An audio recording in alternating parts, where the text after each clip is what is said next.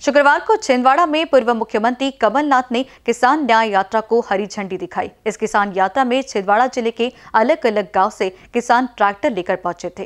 पूर्व सीएम कमलनाथ ने कहा कि किसान भाजपा की सरकार में लगातार ठगा जा रहा है। किसानों के साथ न्याय हो, इसलिए कांग्रेस किसानों के साथ खड़ी है और उनके लिए न्याय यात्रा निकाली है। कमलनाथ ने कहा कि अप्रैल 2023 में मध्य प्रदेश की तत्कालीन मुख्यमंत्री शिवराज सिंह चौहान ने प्रधानमंत्री की मौजूदगी में रेवा के पंचायती राज सम्मेलन में यह घोषणा की थी कि मध्य प्रदेश में किसानों की आमदनी दोगुना कर दी गई है।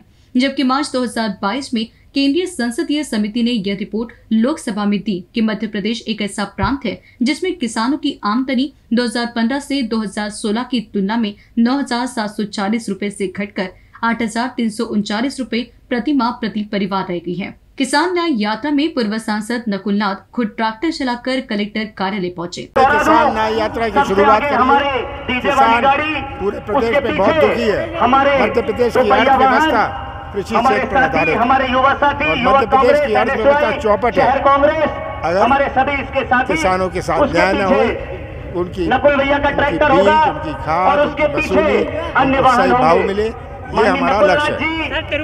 इनबीसी न्यूज़ के लिए छिंदवाड़ा से शेखर राजपूत की रिपोर्ट।